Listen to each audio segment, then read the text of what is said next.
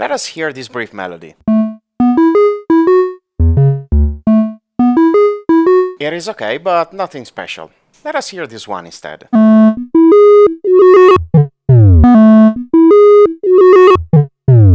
It is the same melody, but much more expressive.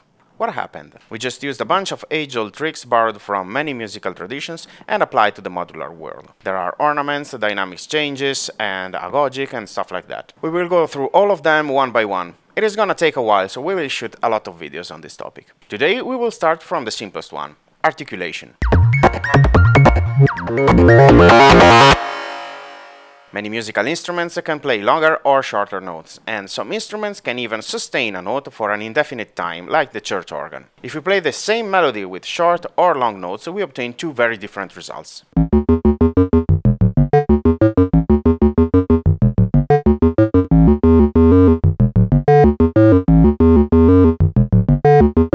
Is the same, so we are not changing the melody's speed or its rhythm. If we imagine the time between two notes, we are just changing how much of this time is occupied by the first note. This practice is generally called articulation in Western music because it is how we articulate a written melody. If you come from other musical tradition and have other terms to define the articulation, let us know in the comments below. If we play with articulation, we can give every note a different flavor and we can even obtain other rhythmic figures within our main rhythmic structure. In Western music, there is a bunch of words and symbols to describe the articulation practices, and they vary a lot according to the instrument that is playing and the composition style, but we still can get a grasp on them. By default, we tend to assume that a note is held for its whole duration, and if we need to stress or emphasize this feature, we can use the tenuto symbol, which is a dash above or below the note head. When a note needs to be played with a shorter duration to separate from the others, we talk about staccato. Its symbol is a dot above or below the note head. Staccato in Italian means detached because the notes are separate from one another. We can write a staccato piece also like this, but you will notice that it is quite cumbersome and very difficult to read. It is also fairly difficult to grasp the rhythmic structure at a glance. On the other hand, if we want a melody that flows tied together, we use the legato symbol, which is a line that connects the first and the last note of the melody. As opposed to the tenuto, which means held and where the notes are long but still separate, with the legato they are almost joined in a single pronunciation. Let us then move to the modular system and see how we can transpose these concepts to our sequences. The easiest way is through gates that we also discussed in other videos about timing pulses, but there might be other ways of playing with our piece's articulation. Let's dive into that. Okay, so let's start from the easiest possible configuration. We have one pattern on one track. CVA is controlling the volt per of uh, our Brenso oscillator and the gate A is outputting a very short gate that trig this Falistri here, which controls the amplitude on the CGM. Now, since we have already selected the gate A, we can play and increase the time the gate stays high. Now, if the gate has only one LED lit, it means that it is playing the shortest possible duration and it can be thought of as a staccato effect. And if it has all the 16 stages lit, it will stay high for the whole stage duration. It is the exact same as having no envelope at all controlling our sequence. It is a legato effect.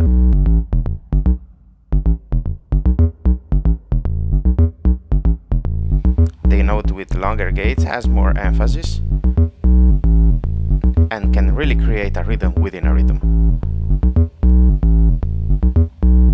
Notice how different is this sequence here from this one with inverted gates. You almost feel like the beat, like the start of the sequence is in a different point. So this was the most immediate way to play with longer and shorter notes, but there is another one. And to achieve that, paradoxically, we need to turn our envelope to transient mode.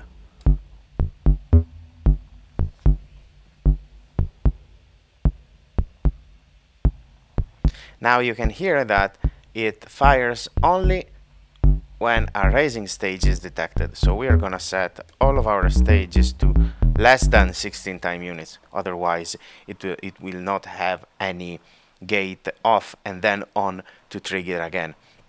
So now any gate, any uh, gate duration is gonna have the same effect because the envelope doesn't have the hold stage anymore. You can see that as I am changing the duration, the rhythm is always the same.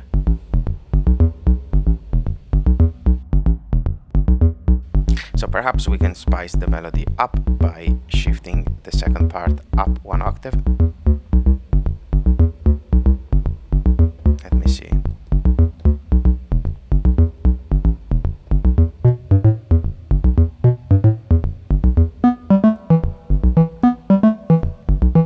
Okay, so the idea is to use CVB, patch it to the fall CV input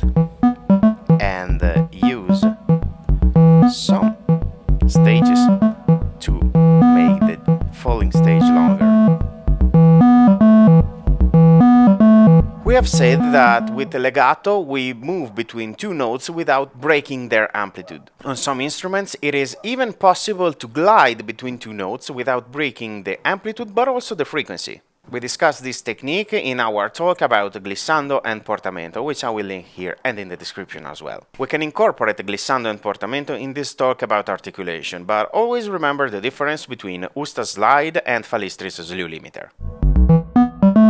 Okay, let us then go back to the sequence. CVA, gate A. We already have a gate pattern, a varied gate pattern with longer and shorter gates. So we are basically just going to select uh, the CVA, it's our, our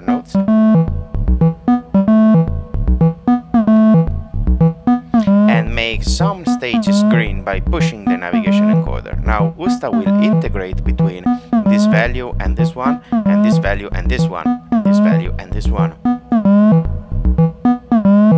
Now the integration takes the whole stage duration time, so this integration will be shorter than this one because this stage is just one time unit long and this one is two time units long.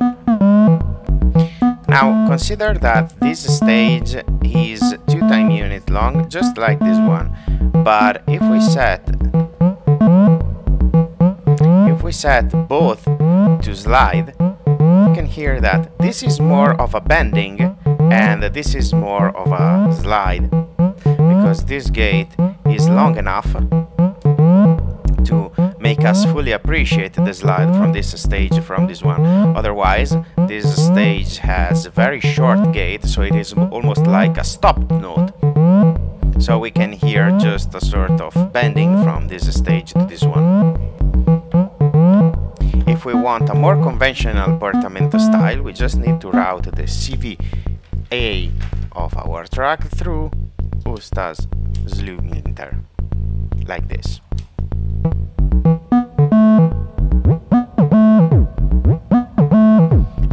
Course, now we are no longer able to define different slide per each stage, but we can choose to slide only going up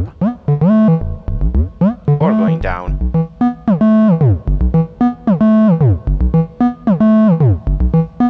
Now we can use our stages to define when there is a leap downwards and then set our gates accordingly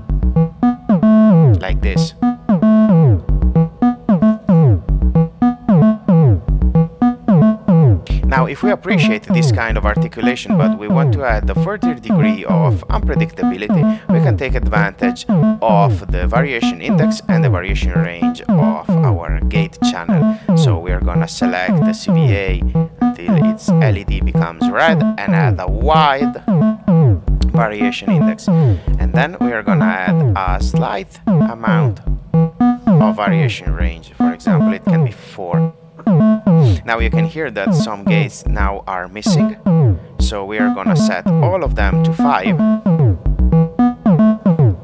so that every stage will pick a value that is 4 units higher or lower than the one that we define here in the red layer. Now since this is uh, 5 LED the least, the shortest possible gate is 1. If we set them to 4, we could have had some pauses because we could have had some stages with zero gate length. In this way, by setting this to 5 and the variation index to 4, we can have a gate length from 1 to 9. So this was the mm-hmm. foundation of our modular expressiveness journey, but in the next episodes we will talk about dynamics, agogic, grace notes, ornamentations, and so on. So stay in touch for the next episode. I hope you find this video useful and I will see you next time.